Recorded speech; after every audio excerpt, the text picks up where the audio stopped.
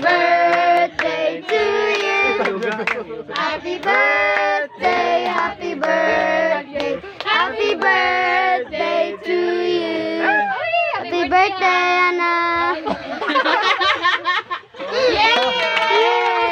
Bakit naman mga no-knowers? Bakit mga